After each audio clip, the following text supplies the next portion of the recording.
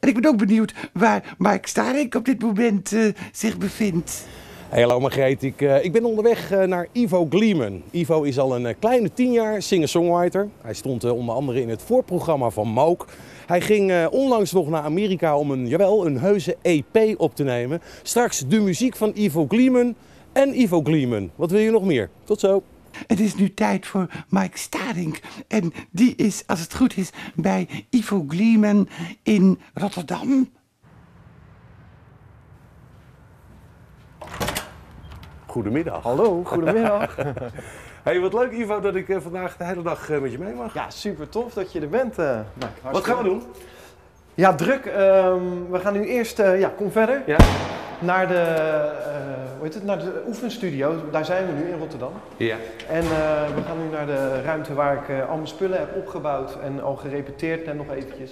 Ik heb vanavond een optreden in eh, De Pui, Café De Pui in Rotterdam. Wat een waanzinnige ruimte Ivo.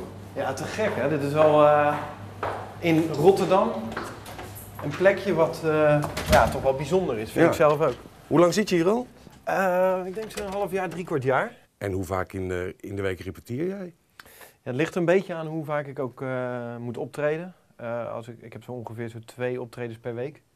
En, Nou, dat is veel. nou, dat is ja, zeker voor een. eh, ja, dat is dan solo nu. Hè? En Mhm. dadelijk met de band zal het nog drukker worden.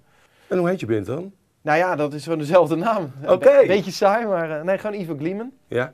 En dat is met Tim Kuper en met Kai Liebrand. En eh, dat zijn eh, twee jongens die mij eh, versterken voor de live optredens. En ja, met, we hebben ook een super klik. eh dus hartstikke tof. En dat moet je ook wel hebben, denk ik. Maar als je met z'n drieën bent, weet je wel. Ik bedoel, ja, het is, je bent veel op onderweg en veel aan het repeteren nu. Ja. Dus we gaan dadelijk starten met veel optredens. Dus,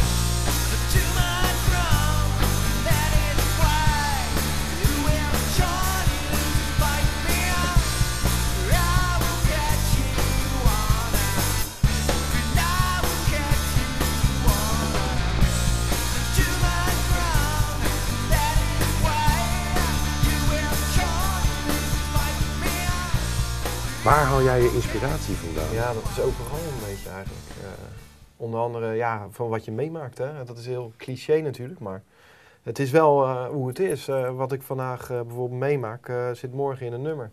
Het kan zomaar zo zijn. Dus ja, daar ben ik altijd wel mee bezig. En, ja.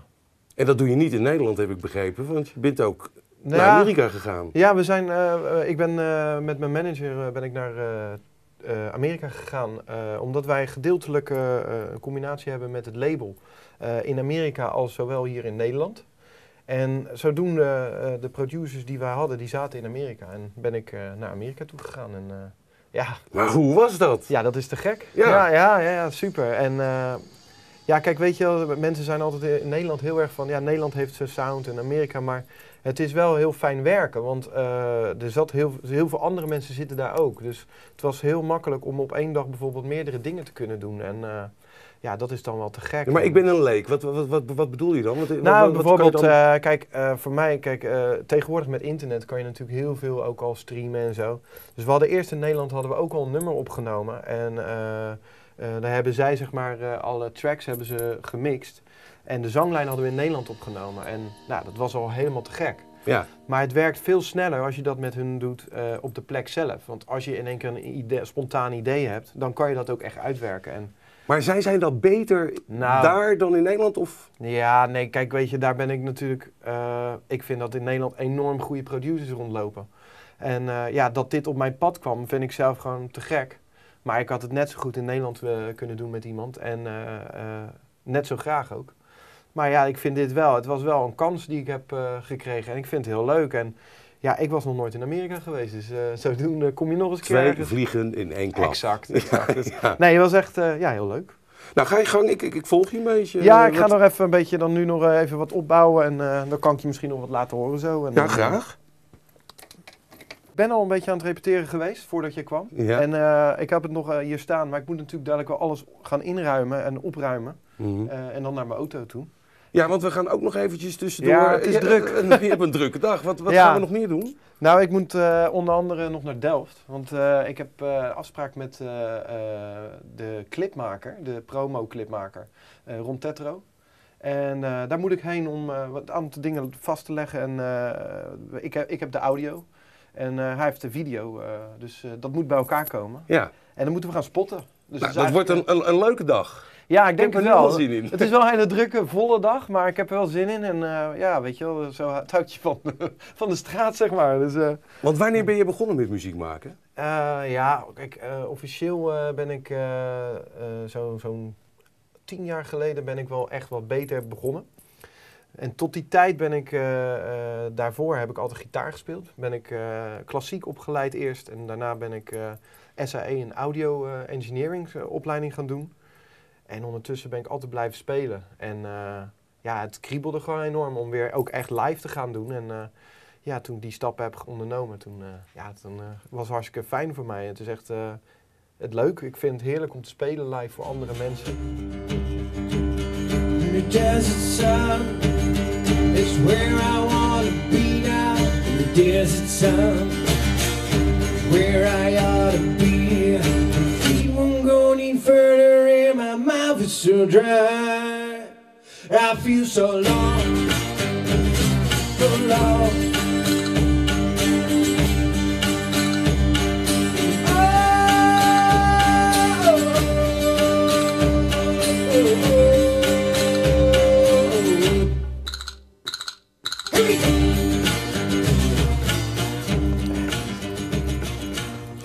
Behoorlijk wat bij kijken. ja, je Wat moet neem wel je aardig wat, mee? Ja, we moeten aardig wat sjouwen, maar... eh, ja, het is gewoon omdat ik veel gitaar eh, altijd speel. Dus ik heb meerdere... Ja, meerdere gitaren. Wat is en dan je... nog die footdrums en... Ja, en wat is je lievelingsgitaar? Ja, dat mag ik niet zeggen, want dan worden die anderen natuurlijk jaloers. nee, ja, deze twee, eh, daar moet ik wel echt altijd mee, eh, die neem ik altijd mee. Mijn zes snaren, mijn twaalf snaren.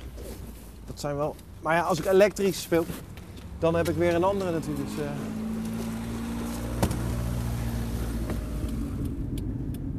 Je auto is wel helemaal rock'n'roll met, eh, met die dobbelstenen. Mien. Min dobbelstenen. Dat is Mien. Hoe rock'n'roll is jouw leven? Nou, eh, qua muziek hou ik uiteraard heel erg van rock'n'roll. Alleen, ja, tuurlijk, ik bedoel, een drankje en een dingetje, dat, een, dat lekker, weet je wel. Maar ik ben niet eh, zo rock'n'roll. Ik ga ook gewoon, eh, als ik een optreden heb, eh, vroegtijdig de, de avond ervoor naar bed bijvoorbeeld. En heel saai eigenlijk. maar, en, en tijdens optredens drink ik niet. Ja, water. En, ik wil gewoon lekker meemaken wat er allemaal gebeurt. En vroeger dronk ik wel, ja, ook voor een optreden bijvoorbeeld, om een beetje ja, wat relaxer te worden. Maar ja, als je veel op een gegeven moment gaat spelen, dan is het net zo lekker om gewoon goed mee te maken wat er allemaal gebeurt om je heen. En ook vooral ook dat je lekker in je gevoel zit. Dat is veel belangrijker dan, eh, ja, dan eh, een aantal biertjes of wat dan ook te nemen voor het optreden. Dus.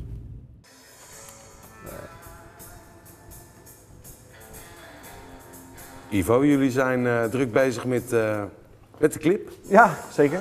Hoe gaat die? Hartstikke goed. Nee, gaat goed. We zijn nu, eh, we zijn nu al hartstikke ver en eh, ik, ik weet zeker dat, nou wat zal het zijn? Een dag nog? Ja, een dag met het, met het zinkleggen van Ivo. en dan nog alle correcties. Ja, en, eh, En dan Ja. moeten er nog wat filtertjes overheen. ja, en een dan, stuk of dertig. ja. Maar je hebt niet de, de eerste de beste in de armen genomen. Eh, even, ik Nee. zoom even in op eh Mr. Ron Cesaro. Eh ja, Ron, kan je beter zelf vertellen. Je hebt behoorlijk wat clips gemaakt. Ja, nou ja, ik ben, eh, ik ben er ooit ingerold als fotograaf. En van fotografie ging ik clips maken. Kane eh, en, en, en Direct, Solvation. Ja. Eh, nu met Ivo Gliemen. Ook niet de eerste, de beste. Nou, een rijtje. Want, wat vind je van zijn muziek? Nou ja, weet je, mijn, mijn, zijn muziek spreekt mij heel erg aan, omdat hij gewoon eh, lekker rockt en eh, heel goed kan luisteren. Dat laatste is heel belangrijk. Hè? Ja. Nee, nee, het is gewoon goede muziek, weet je, wel, en er zit gewoon potentie in. En ik hou sowieso van rock. En eh, ik denk dat daarom ook de, de samenwerking goed is. Hoe zie je jezelf over een aantal jaar? Wat, wat doe je dan? Maak je dan nog steeds deze mooie muziek? Nou ja, ik hoop natuurlijk zeker eh, gewoon de muziek te blijven spelen en nog meer dan wat ik al doe. En, eh, en ook gewoon eh, de stappen door te nemen die ik wil nemen, want dat vind ik vooral belangrijk. De groei en de, ja, mijn passie kunnen blijven volgen, want dat is het belangrijkste. Kijk, daar ben je ook mee begonnen en daar wil je gewoon verder in. Dus daar zijn we nu, ja, ik hoop dat ik daar nu goed op mijn weg ben.